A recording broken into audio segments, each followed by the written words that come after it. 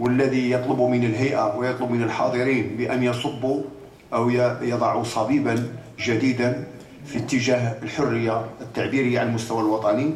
فقط أريد أن أطلب من السيد البرلماني بأن يطلب من السادة كفريق برلماني وأن يطلب من الحكومة بأن يوضح للمغاربة ما معنى المساس بالسلامة المعنوية. حنا عندنا القانون كيتقرأ بالمقلوب. السلامة المعنوية. لا وكيل الملك ولا القاضي ولا المحامي يفهم ما معنى أو يحيط المواطن بما معنى السلامة المعنوية. هذا من جهة. ينبغي أن ندقق ماذا, ماذا نعني بالسلامة المعنوية. لماذا؟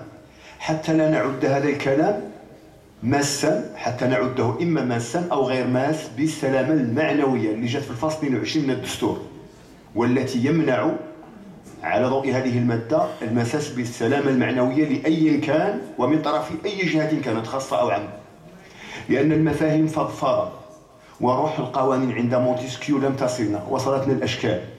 أما روح القانون فبقيت ربما في الغرب يفهمون الناس ما معنى النص القانوني.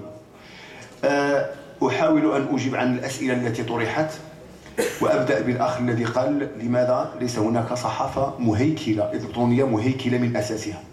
أقول لهذا الأخ العزيز على أننا نحن الآن نحاول أن نتدارك ما ضاع من المغرب العربي من حرية ولأن المغرب محظوظ وأن من من تجليات أو من آثار الربيع العربي هو أن المغرب خرج سالما ويؤسس لمغرب استطاع أن ينجو من ماذا؟ من مخارب الثورات العربية وهذا دليل على أن هذا الاتجاه سيلقى تأطيرا لا شك.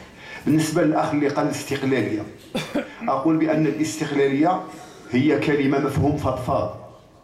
وهل نحن مستقلين في إحساسنا بالوطنية الوطن الذي يجمعنا والتفكير الموحد الذي يجمعنا هل يجعل منا كل واحد مستقل؟ نحن ليست هناك استقلالية بل ينبغي أن نركز على المهنية وليس على الاستقلالية. المهنية تغلب التدخل في, في, في أي مجال. ثم بالنسبة للأخ الذي تحدث عن الإرادة وتحدث عن عدم تطبيق الدستور وعن تزايد عدد المواقع انظر يا أخي مشروع الذي صوت